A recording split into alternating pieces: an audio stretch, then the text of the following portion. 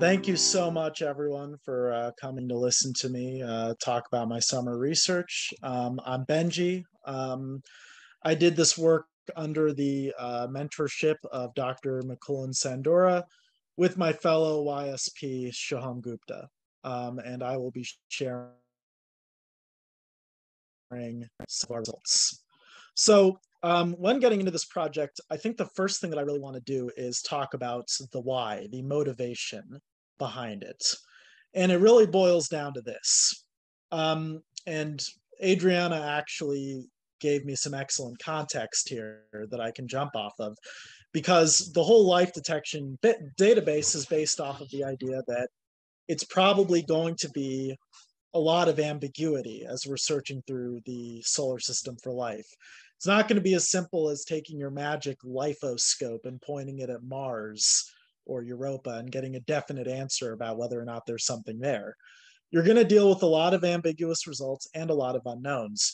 And ambiguous results and unknowns um, are sort of vacuums that quickly get occupied by human bias. So, my goal, uh, or our goal with this, was to try to see if we could use mathematics and specifically the laws of probability to take it take the decision making about these things out of the hands of human bias as much as we could. Um, and specifically, let's say you have an ambiguous biosignature detection. How do you determine an optimized way to plan your follow up mission and your follow up research? So, um, the first thing that we thought about when considering this is what makes a result ambiguous in the first place? and it kind of comes down to two things, right? False positives and false negatives. So you could have a situation where you thought you found life, but it was actually some kind of geochemical sleight of hand tricking your instrument. Or you could end up with a situation where you scoop up a soil sample on Mars and you look for microbes and you find none, but your instrument just wasn't sensitive enough and it was actually teeming with microbes most likely you're going to end up with situations where you have potential for both false positives and false negatives. You might have one experiment that gets a positive result, and then a different experiment looking at a different chain of evidence that gets a negative result. Um, and in such a situation where you have those conflicting results, how are you going to decide uh, which lead to prioritize in your follow up work? Um, well, that is what we constructed a tool to be able to decide with. So next thing that we sort of um, little building block of our tool here is um, Bayes' theorem. Now, Bayes' theorem is really wonderful because it's in a way recursive. So as you successively gain more information about something, in this case, the probability uh, that life is present given uh, a detection by a biosignature mission, um, the more you can update that probability of life given detection to account for your new information. So it seemed like a natural choice. So we have probability of life given detection here. We have the prior probability of life evolving, which we have no idea about. I'll get to how we account for it. Um, the probability of detection given that life is present, and then finally, the probability that your instrument actually detected the biosignature, P of D. That can, of course, be expanded down here. And so the second thing is um, the second set here is the probability of detection given non-life. So this would kind of be getting at your false positives times the probability of no life evolving. And these, of course, are variables we've already defined in the first part right here. So um, we do two things uh, in the next stage. First, we're going to take that equation and we're going to put it in terms of the probability of false positive and the probability of false negatives, which we can treat as compound probabilities of all of the different hypotheses that could result in false negative or positive. And we're going to do the responsible thing and assume that we have no idea about the prior probability of life evolving because guess what? We don't. That's why we're doing this. That's why we're in this game, right? I mean, um, one of the biggest motivations behind astrobiology is that we don't know P of L. Um, So you're going to integrate a uniform probability distribution from probability zero, your lowest probability. There's absolutely no chance of life evolving, to probability one. There's a 100% chance life absolutely has to be there. And you're going to integrate over everything in between those two. Um, and the, yeah, called a uniform distribution. And um, finally, the last little uh, piece in this puzzle is the Shannon information entropy. So um, what information entropy tells you is how random your data is, or in other words, how uncertain your results are, right? And you want to minimize this. You want to minimize your entropy, but you only want to do it in a certain way, right? Because you don't want to be certain that you're wrong. That would be this axis here, where you have 100% certainty of a um, false positive or false negative, you know, where I'm where my cursor is, right? What you want to get is zero as close to zero as possible, but also as close to zero probability of false positive and zero probability of false negative. That's this bottom left corner here. So let's say you have your ambiguous results from your biosignature detection, right? You can place those results um, on this gradient based on what values you have for the probabilities of false positives and false negatives. And um, from there, you can decide what's the first thing to prioritize to get you closer to the bottom left corner. So either you're going to want to prioritize uh, an experiment that has no chance of a false negative. So you're going to want to move leftwards towards the bottom, bottom left corner, or you're going to want to prioritize something that has the minimized probability of uh, false positive in, in the case where you're under the uh, diagonal line, in which case you would want to go the quickest thing you could do to get closer to that zero point would be to go vertically down. And so you can use this as sort of a quick mathematically based way to make your decision about what kind of experiment you want to prioritize when you're doing your follow-up mission. Um, now, I also decided to look into another topic, which is um, solar system techno signatures. Yes, you heard that right. Specifically, the whole topic of lurkers. Now, um, to introduce this idea, I'm going to show you this picture here. This is all of the probes that we have sent on escape trajectories out of our solar system. And you could imagine, hypothetically, maybe extraterrestrial civilizations out there have been doing this at a far greater rate. Um, and if so, one such probe may have landed in our solar system at some point. It would be a roughly 10 meter needle in a 1000 astronomical unit haystack.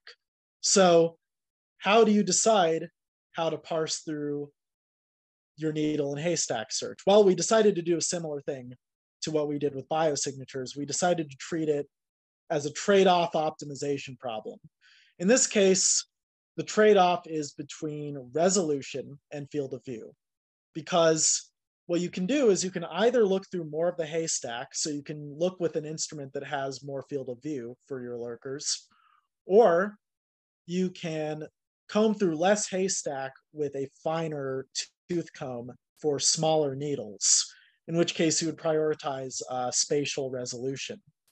And so what we essentially did is we created another Bayesian probability um, for the probability of um, detecting a lurker given n greater than zero lurkers present.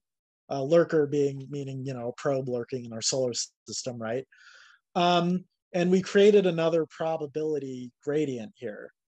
Um, now this black curve here plots the trade-off between resolution and field of view. And what you, the way that you would find an optimized sort of uh, compromise between the two is you would go where this curve hits um, the maximum probability in the gradient. So in this case, if you look at the color scale, that's the, the dark blue is probability one. So that would place that optimized trade-off point right around the minimum right here, um, the local extrema. And so um, you can find what that minimum or what that extrema sort of optimized value is for different patches of space in the solar system that we've looked at in different resolutions. Um, and from there, once again, you have a way of mathematically making a decision um, about, in this case, a techno signature search in a way that puts it entirely in the hands of the equations and takes it out of the hands of your biases. Um, and so very quickly, because I know I'm probably really, really short on time, um, I'm just going to discuss a couple of ways that I'm we're hoping on expanding uh, on these two avenues. So one thing is we're going to uh, create kind of a compendium of those optimized uh, resolution uh, field of view trade-offs for different spots in the solar system um, so that we can create almost a sort of roadmap for future lurker searches using this tool. Um, the other way that we want to apply this to a real world situation is there was a paper that did Bayesian analysis of a finding of methane in plumes coming from Europa. Um, not Europa, Enceladus, my bad. Um, the one in the one, you know, behind my head.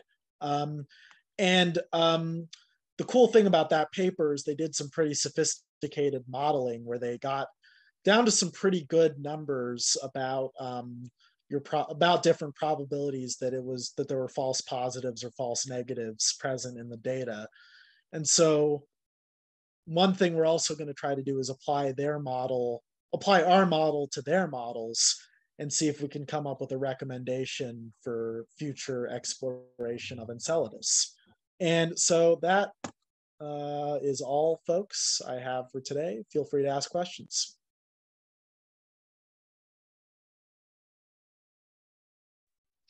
Lovely. Thank you very much, Benji. It's fantastic.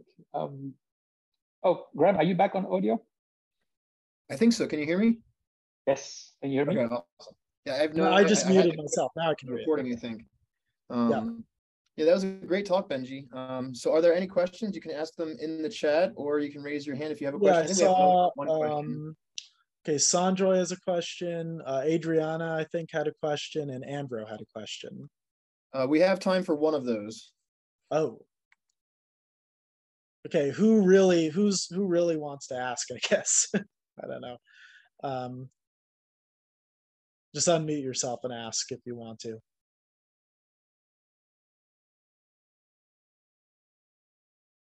Go for it, Adriana. I was just clapping. that was just a clapping. Oh, thank reaction. you. thank you. Um, anyone else have question they want to ask? I can, but I would rather have somebody else ask the question. But okay, so I'll ask my question. Um, I really appreciate the effort of moving uh, from PL to PFN and PFP, but mm-hmm. don't you need the priors of PFN and PFP in order to calculate them in the first place? And so, how does that advance you? Right. So it is that is a tricky thing. Um, the way that you can kind of the way that I thought about it was, um, you know, that there you still have certain probabilities of different mechanisms that could cause a false positive and false negative. So you could say that there's a probability that there would be enough, um, I don't know, perchlorates present in the Martian soil to trick up the uh, labeled release experiment on Viking or something, um, just as an example. Um, now, you're still going to have to deal with that those probabilities might be tricky to find.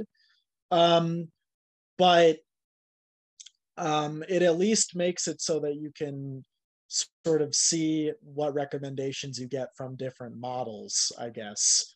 Um, and you're still you're still you know it doesn't it's not perfect. It doesn't completely get rid of your ambiguity. Um, but it takes it one step further out of it i guess the next step further out of it is for someone else to figure out or for me to figure out if uh, we keep going at this thank you all right cool you don't know what the future holds um, but i am curious if you, if you do continue that work on the enceladus paper um, there was a good bit of backlash to their interpretation so i'd love to see what your what your model would do with their interpretations. Yeah. Uh, Yeah.